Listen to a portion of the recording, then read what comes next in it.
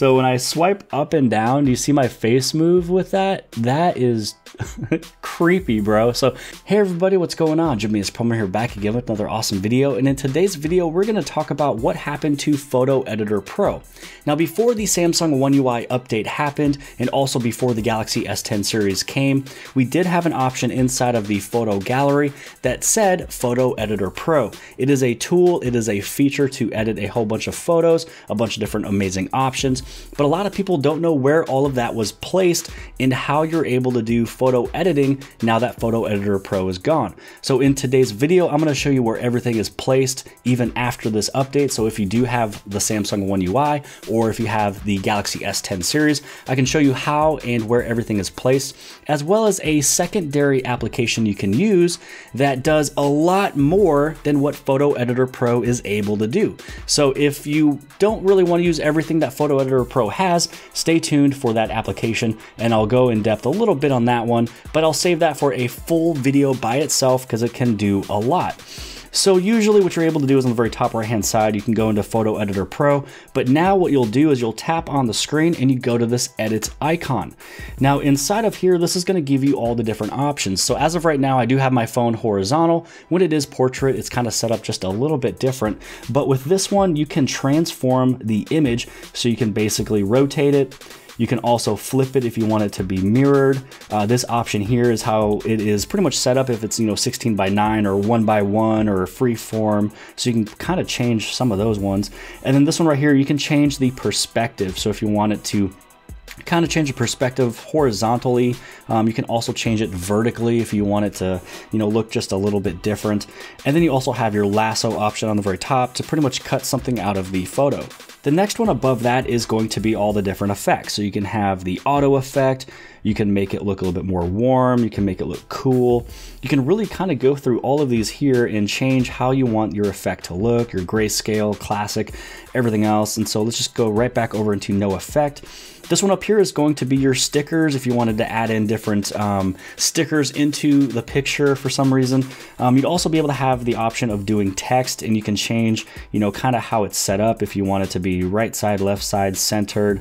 Um, you can go through some of the styles, and also you can type in your words and everything else right there. Now, when we go back up over here, this is where you can also do some of the drawing. So if you would like to draw on the screen, um, you can do that as well. So I'm just going to discard that one, go back inside of editing. Um, and then now you also have this one on the very top that you can change the brightness. Um, so just by scrolling it left and right, you can change the brightness. You can also change the exposure, uh, the contrast, the saturation. You can also change the hue of the image. Um, and so what we're gonna do over here is you can either save it or you can also hit on reset. So what we're gonna do is go back over into this image again. Um, and then on the very top, when you go on the very right hand side, you also have the white balance. You can go to auto, you can make it towards daylight, 5500K, 65K, and, and all the rest of those ones. Also on the top of the phone, you have this little magic wand, and when you tap on that magic wand, it'll make a couple changes for you. And if you'd like to know what it did, just head over to the right-hand side, look for a little orange dot, and this will show you the changes of what it did. So it changed the exposure, it also changed the contrast as well as the resolution to give you this picture. Now the phone is in horizontal mode, so I'm going to flip it back up over into the portrait mode. So you can see that there is a reset and save button. Also these three little dots. So sometimes this does kind of hide when you're looking at your photo when it is in the uh, horizontal mode. So we'll put it back over into reset. Now the very last thing I do want to show you is those top three dots on the very top. This is where you can see spot color. So spot color, this was one of those really cool things that you were able to do. It's something that I always love to show off and it pulls out one particular color. And then once you save on this, now you would have to basically hit on save and then go back and then you can change the hue if there was a different color that you wanted these motorcycles to be. And you can also add in more color if you want it to pull out just a little bit more, um, which is really just kind of this, uh, I don't know, ugly color of fall that's kind of on this uh, image here. And you can also delete some of the coloring off of the image. Um, let's say that we bring back the red. So you want to go right where that crosshair is for red. And then if I only wanted my bike to be red, you can hit on this little uh, erase button over here, and then now you can erase it to where now there's only one motorcycle that is red.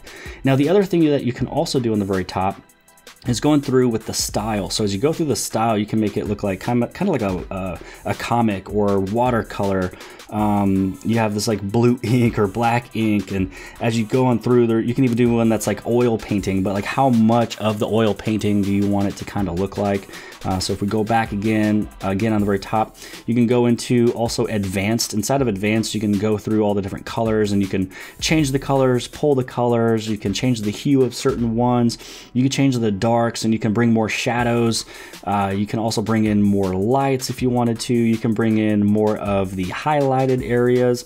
So there's a few things you can also change then also the backlight as well. So if you kind of wanted to go a little bit brighter, you can also do it that way. So really everything is still here. You have your hue, you have your white balance, the, the exposure, the contrast, your letters, you can, you can draw on there, you can transform it the way you need it to.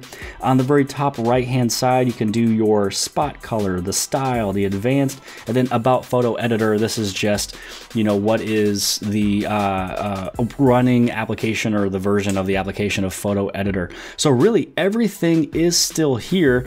You would just kind of have to go through and you can play with things on the very bottom, but also don't forget that when you go inside of here, you hit on that little uh, editing icon, you still have more things on the very top right hand side. And that's one of those important things because I think some people were looking for spot color or a little bit more things you can do that's a little bit more advanced then just kind of going through the lighting and things like that on the very bottom with exposure and saturation.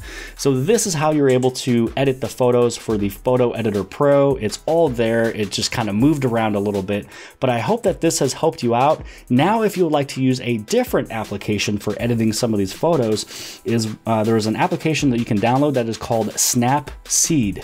And when you open up Snapseed, you're gonna go inside of here and you're gonna choose what image you would like to edit. So let's say that we go back over into that motorcycle one, you can go through and change the looks if you want it to pop out or accentuate and you have like a morning photo that you can do. Um, and also outside of that, you have all of these tools. Now these are a ton of tools that you can play with. Now there is one thing I do want to show you when you go through some of these tools is how you're able to kind of change a few things. So let's go through and change the HDR uh, scape. So as you go through here, you can set it up for people or nature. You can fine tune it or strong it. Uh, let's just go back over to the nature. But as you go through here, um, these are your little settings. So uh, when you go through the settings, you can also locate this by swiping up and down on the screen. So anywhere on this screen here within the app, here's the filter strength and then you just simply swipe it left or right to change how much of that filter you want to be used. Now, once you got your filter pretty much set up, now you can just swipe it up and then now you're in brightness. And then you can change how much of a brightness you would like to happen with this image. And then you go up again, and then this is where you can change the saturation. So really what you want to remember is when you're looking at this picture here, swiping up and down will give you different options, and then left and right is changing that particular option that you were set on. Or you can go inside of the settings here, go to your brightness, and then you can change it this way. So it's just one of those things that you can kind of go through on which one you know works better for you. For me, I just like swiping up and down and switching to whichever I would like to, to use. And then when you are done, you hit on that little check mark on the right hand side. Now there's a lot of tools in here, so you can do brush, you can do tonal contrast, glamour glow. So if you're showing a person's face, you can really glow um, all of their features. You can also go inside of portrait. So there's really no faces to be found on this one. Um, but inside of portrait, you can change how a person's head looks. Now to show off portrait just a little bit more, it is gonna try to find a face. So if you're trying to do something, just head back over into open and let's scroll on down. And here's a, a face of mine here. Um, and let's go into tools, let's go to portrait. So inside of here, it's gonna find your face and you can do a whole bunch of different combos. You can also do a, face, you know, spotlight if you kind of want that to kind of move up. You can do your skin uh, smoothing. So if you need to smooth your skin a little bit, you also can. Uh, you also have eye clarity. Um, there's a whole bunch of different crazy things. And so you can also set up, you know, different things on how your face is and all that stuff. But also let's go inside of tools. And there's another thing for head pose. Now this one is crazy. So when I swipe up and down, do you see my face move with that? That is creepy, bro. So you can change where your face is. I'm sorry, this is just too amusing. You can change where your face is at. Um, you know, so if your pose is a little off, you can also change it that way too. So it's it's actually really fun. So you can change even your smile Um, so if I was smiling, sorry, if I was smiling, I'd be able to make my face just uh, smile just a little bit more. And you also have your uh, local or uh, the, the focal length. So you can change, you know, if you want your skin or your face to be a little bit uh, skinnier. Um, so it's just super fun. So swiping up and down will allow me to add more of a smile. Uh, and you can also change the pupil size. So there's a lot of really cool things that you can do with inside of, um, you know, this application of Snapseed. So if you guys are really kind of not, you know, loving the new, uh, Photo Editor Pro that's on the Galaxy S10 devices or the any of the devices that updated to Android Pie, you are able to go through, download Snapseed. I'll probably have another video talking about this just because not everybody is going to be still watching the video to right now. Some people might just be watching for the Photo Editor Pro and that's it, and then they completely missed out on, on Snapseed. But other than that, I hope that you guys have liked this video. If you guys did, please give this thing a huge thumbs up. Also, don't forget to hit on subscribe. You can subscribe right over here on the very bottom left-hand side, that little red circle. Share this video with your friends and family and social media sites. And outside of that, I'll see you guys later.